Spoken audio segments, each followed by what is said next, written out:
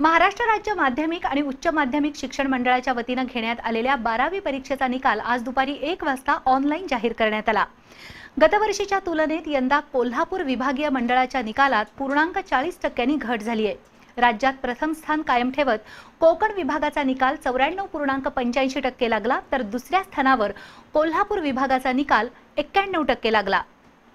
महाराष्ट्र राज्य माध्यमिक आणि उच्च माध्यमिक शिक्षण मंडळाच्या वतीनं फेब्रुवारी मार्च महिन्यात बारावीची परीक्षा घेण्यात आली होती कोल्हापूर विभागातून एकशे चोपन्न परीक्षा केंद्रातून एक लाख पंचवीस हजार सहाशे अठ्ठेचाळीस विद्यार्थ्यांनी ही परीक्षा दिली होती आज या परीक्षेचा निकाल दुपारी एक वाजता ऑनलाईन पद्धतीनं जाहीर करण्यात आला त्यामध्ये एक लाख चौदा हजार तीनशे बेचाळीस विद्यार्थी उत्तीर्ण झाले असून निकालाची टक्केवारी एक्क्याण्णव टक्के इतकी आहे गतवर्षीच्या तुलनेत यंदा कोल्हापूर विभागाचा निकाल पूर्णांक चाळीस टक्क्यांनी कमी लागलाय राज्याच्या टक्केवारीशी तुलना करता प्रथम स्थान कायम ठेवत कोकण विभागाचा चौऱ्याण्णव पूर्णांक पंच्याऐंशी टक्के निकाल लागला तर दुसरं स्थान कायम ठेवत कोल्हापूर विभागाचा एक्क्याण्णव टक्के निकाल लागला एकूणच राज्यातील सर्व आकडेवारी ग्राफिक्सच्या माध्यमातून बघूया विभागीय मंडळानुसार निकालाची टक्केवारी कोकण विभाग चौऱ्याण्णव पूर्णांक पंच्याऐंशी टक्के कोल्हापूर विभाग एक्क्याण्णव टक्के पुणे विभाग एकोणनव्वद पूर्णांक अठ्ठावन्न टक्के औरंगाबाद विभाग अठ्ठ्याऐंशी पूर्णांक चौऱ्याहत्तर टक्के लातूर विभाग अठ्ठ्याऐंशी पूर्णांक एकतीस टक्के अमरावती विभाग अठ्ठ्याऐंशी पूर्णांक शून्य आठ टक्के नागपूर विभाग सत्याऐंशी पूर्णांक सत्तावन्न टक्के मुंबई विभाग सत्याऐंशी पूर्णांक चव्वेचाळीस टक्के नाशिक विभाग शहाऐंशी पूर्णांक तेरा टक्के एकूण राज्याचा मिळून अठ्ठ्याऐंशी पूर्णांक तेरा टक्के निकाल लागलाय तर कोल्हापूर विभागातील जिल्ह्याचा निकाल पुढील प्रमाणे कोल्हापूर जिल्हा एक्क्याण्णव पूर्णांक पन्नास टक्के सातारा जिल्हा एक्क्याण्णव पूर्णांक चौदा टक्के आणि सांगली जिल्हा नव्वद पूर्णांक बारा टक्के इतका निकाल लागलाय दरम्यान आज शिक्षण मंडळाच्या संकेतस्थळावर निकाल जाहीर होताच विद्यार्थ्यांनी जल्लोष केला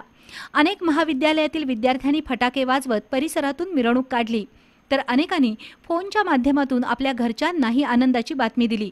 निकाल बघण्यासाठी काहींनी नेट कॅफे गाठला तर काहींनी मोबाईलवरच निकाल बघणं पसंत केलं यामुळं आज दिवसभर आनंदाचं वातावरण बघायला मिळालं काही ठिकाणी कही खुशी काही गम हे वातावरण होतं अनेकांनी कोल्हापूरच्या रांगड्या पद्धतीनं थेट डॉल्बीच्या गाण्यावर ठेका धरला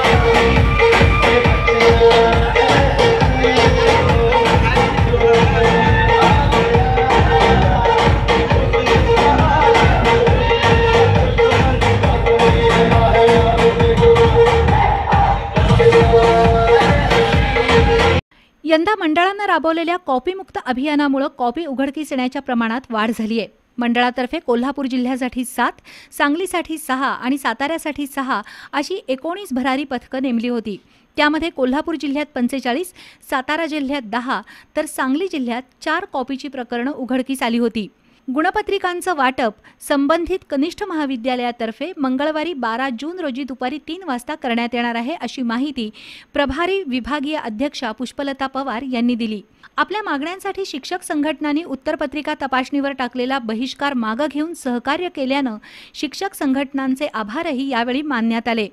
यावेळी शिक्षण उपनिरीक्षक डी एस पोवार बोर्डाचे सहसचिव टी एम मोळे सांगलीचे विस्तार अधिकारी L L Bastawade S L Renke उपस्थित होते